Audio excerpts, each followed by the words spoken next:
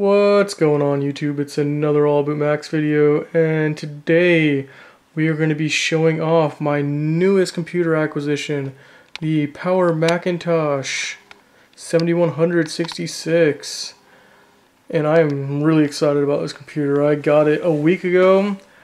I unboxed it and everything like that. I did a video on unboxing but I don't think I'm going to post it just because the video quality wasn't that great and the video quality in this video is probably not going to be that good as well, just because my lighting in my room is really bad. I only got one light, so it's kind of grainy, but what can you do? So we'll just go ahead and show this thing off. We'll go ahead and turn it on.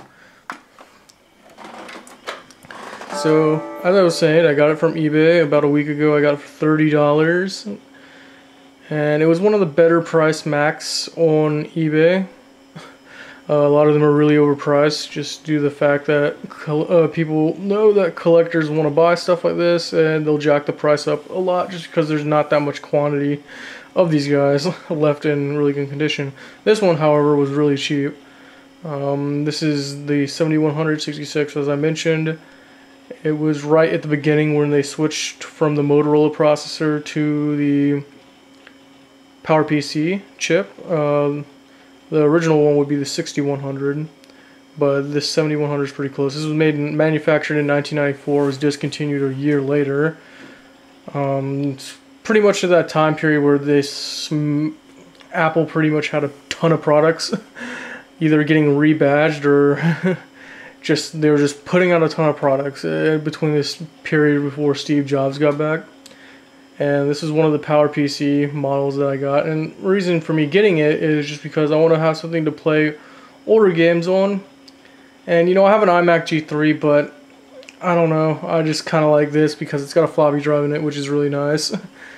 And I just like the style which is kind of weird because a lot of people like oh well iMac G3 is really stylish which it is. Like it's pretty innovative but like I don't know. I just like the beige type computer I don't know what it is. I'm sure there's other people like that out there that are like me that kind of like this more basic style.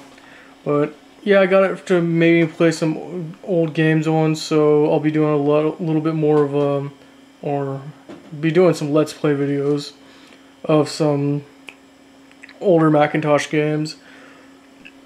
Even though there's not that many out there, but there's enough to where I can do some reviews on them.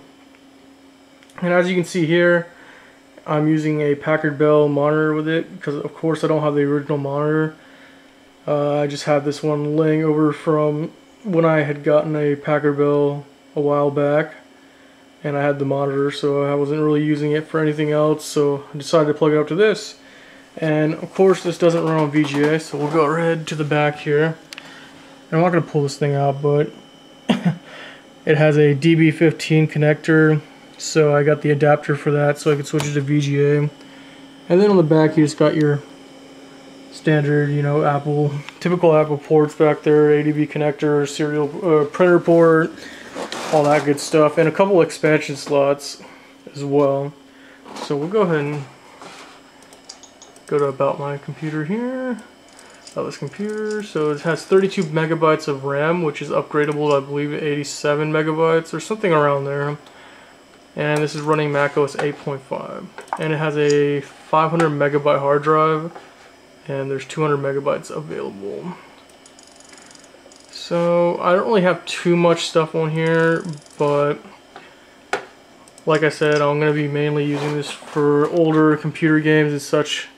And I'll probably end up um, doing a video probably next month because it's gonna be kind of hard to where I work out the deal with this person to get this, get my hands on it, but it's a DOS card. And if you don't know what that is, it's an actual card that goes onto the uh, motherboard itself and allows you to, you know, download or, you know, run Windows.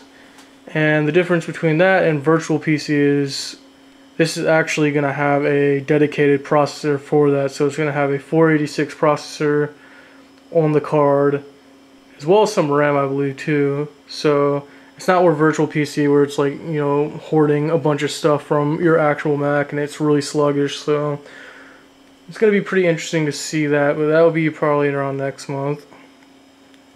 yeah, I just want to show this off real quick. Um, it's got your CD drive, works.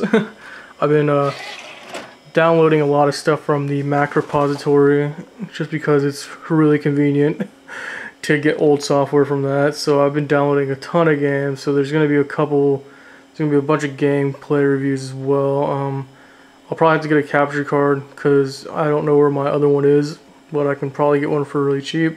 So expect those around next week sometime. But uh, yeah, just want to show this off real quick. I thought it was really cool that I got it. and yeah, that's pretty much it. So uh, I'll see you in the next video.